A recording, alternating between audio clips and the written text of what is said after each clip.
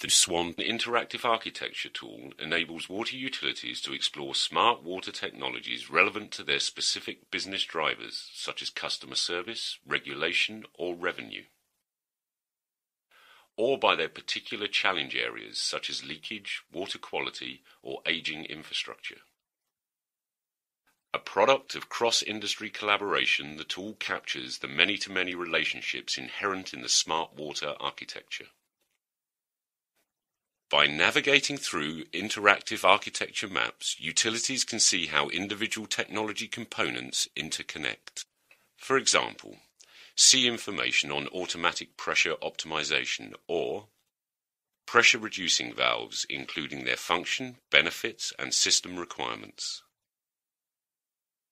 Utilities may also view relevant case studies and benefit analysis. The SWAN tool allows utilities to explore industry technology information in one location, and understand the real-life implications and benefits of implementing different smart water solutions.